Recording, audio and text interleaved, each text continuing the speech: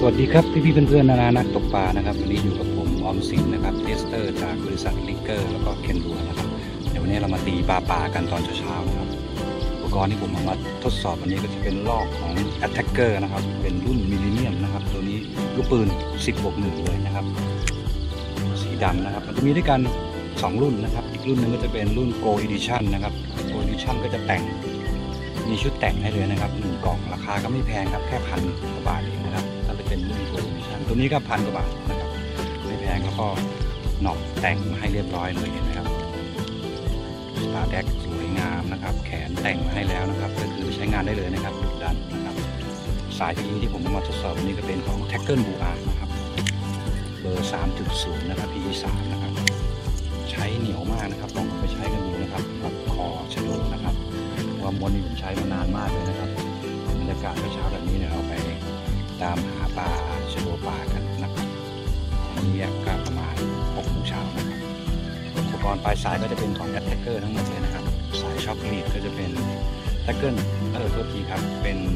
Attacker นะครับฟูโรคาร์บอนแท้100%นะครับขนาด 50ปอนด์นะครับผมมาช้เดี๋ยวไปติดตามกันในคลิปนะครับผมลุยเลย ลอกดีครับ ตีไกลครับ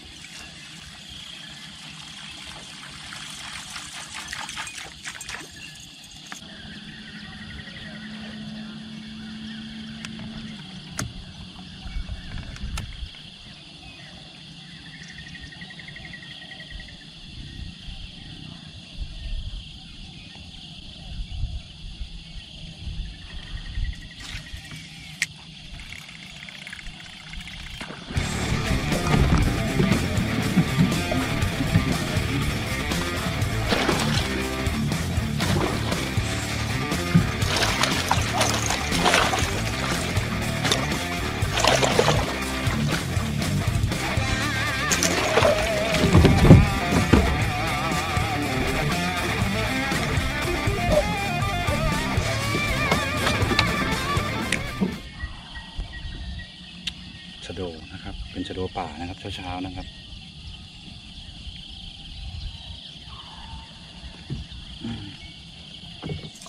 แรงดีจริง ๆ นะครับชะโดที่นี่นะครับลอกที่ผมใช้วันนี้ก็จะเป็นของบริษัทลิเกอร์นะครับ เป็น Attacker Millennium นะครับ ตัวนี้เลยนะครับ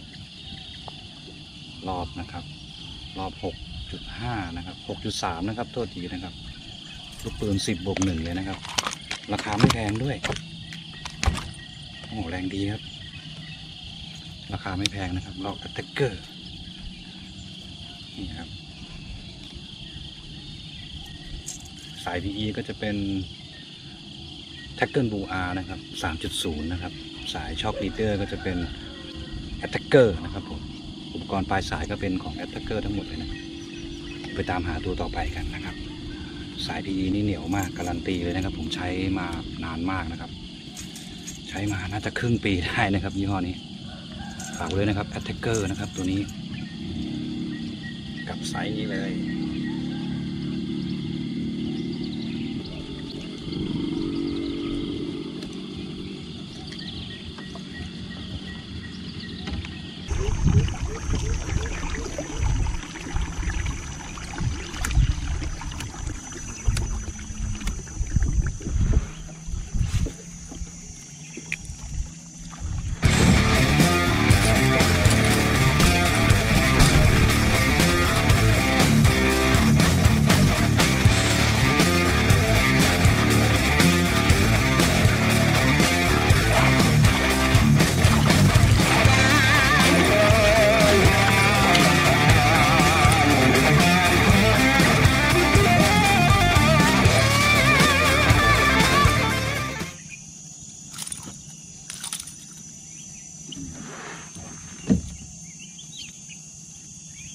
ตรงนี้น่าจะประมาณไม่ถึงโลนะครับ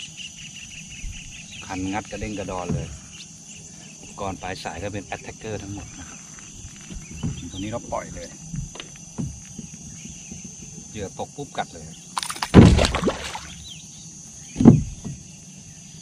ลอกเป็น Attacker นะครับ สาย PE t a c k l e b u R ตัวนี้ใช้ดีมากนะครับ เหนียวสุดๆโคตรเหนียวเลยผมบอกให้ วกประตู น้ำหรือว่า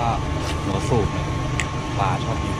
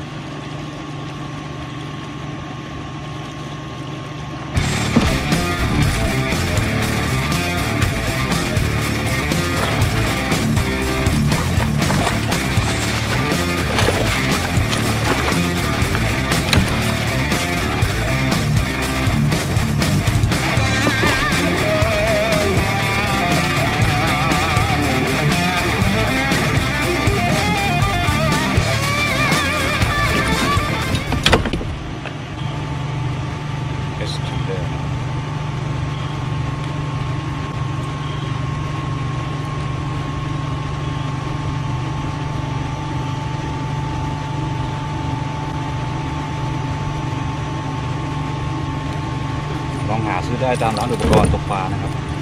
อุปกรณ์ปลายสายทั้งหมดที่ผมใช้ก็จะเป็นของ a t t a c k e r นะครับ a t t a c k e r รอบนี้ก็เป็นรอบมิลลิเนียมนะครับ ราคาพันกว่าบาทเองไม่แพงก็แรงดีนะครับ ลอกสีดำสวยงามนะครับอย่าลืมนะครับคัน S Thunder นะครับ หาซื้อได้แล้วนะครับ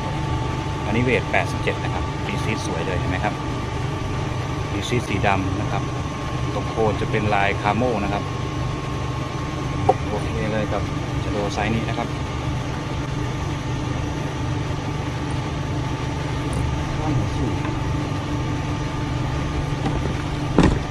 ไม่ปล่อยนะครับ